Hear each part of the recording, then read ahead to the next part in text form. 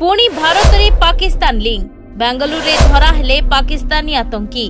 ନାଁ ବଦଳାଇ କରୁଥିଲେ ବେପାର ଛଅ ବର୍ଷ ହେଲା ରହୁଥିଲେ ପୁରା ପରିବାର ବେଙ୍ଗାଲୁରୁର ଜିଗ୍ନି ଏକ ଶାନ୍ତ ଇଲାକା ଅଟେ କିଛିଦିନ ପୂର୍ବରୁ ଏଠାରେ ଛଦ୍ମବେଶୀ ପାକିସ୍ତାନୀ ନାଗରିକଙ୍କର ରହିବା ନେଇ ହଟଚମଟ ସୃଷ୍ଟି ହୋଇଥିଲା ଗୁଇନ୍ଦା ବିଭାଗ ପକ୍ଷରୁ ଜିଗ୍ନି ପୋଲିସକୁ ଖବର ମିଳିଥିଲା ଯେ ଚାରି ଜଣ ପାକିସ୍ତାନୀ ନାଗରିକ ନାଁ ଓ ଠିକଣା ବଦଳାଇ ଏଠାରେ ଗତ ଛଅ ବର୍ଷ ହେଲା ରହି ଆସୁଛନ୍ତି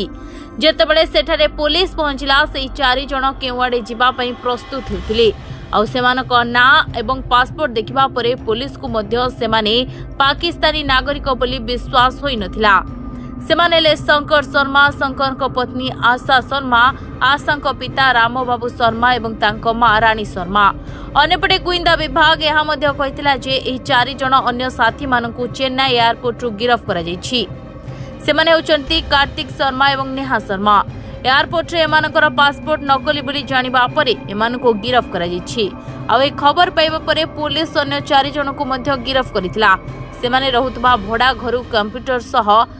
ପାକିସ୍ତାନ ଏକ ଅନ୍ତରାଷ୍ଟ୍ରୀୟ ସଂଗଠନ ଦସ୍ତାବିଜ ମଧ୍ୟ ଜବତ କରିଥିଲା ପୋଲିସ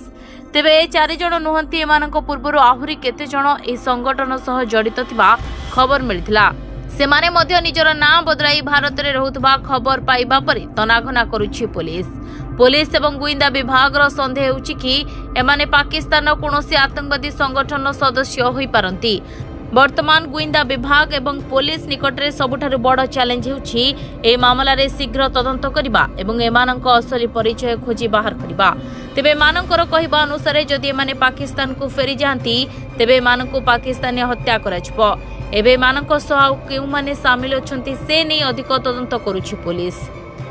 ଏମାନେ ବାଙ୍ଗାଲୋରରେ ରହି ଖାଦ୍ୟ ପଦାର୍ଥ ବିକ୍ରି କରୁଥିଲେ ଆଉ ଦୁଇ ଜଣ ଏକ ଗ୍ୟାରେଜରେ କାମ କରୁଥିଲେ ଏହା ସହ ଏମାନଙ୍କ ଘରୁ ମିଳିଥିବା କମ୍ପ୍ୟୁଟର ଏବଂ ଅନ୍ୟାନ୍ୟ ଜିନିଷ ମଧ୍ୟ ଫରେନ୍ସି ଯାଞ୍ଚ କରାଯାଉଛି ତେବେ ପୋଲିସ ଯେତେ ଶୀଘ୍ର ସମ୍ଭବ ଗୋଇନ୍ଦା ବିଭାଗ ସହ ମିଶି ଏହି ନେଟୱାର୍କ ପର୍ଯ୍ୟନ୍ତ ପହଞ୍ଚିବା ପାଇଁ ଚେଷ୍ଟା ଜାରି ରଖିଛି bureau report Dinalipi live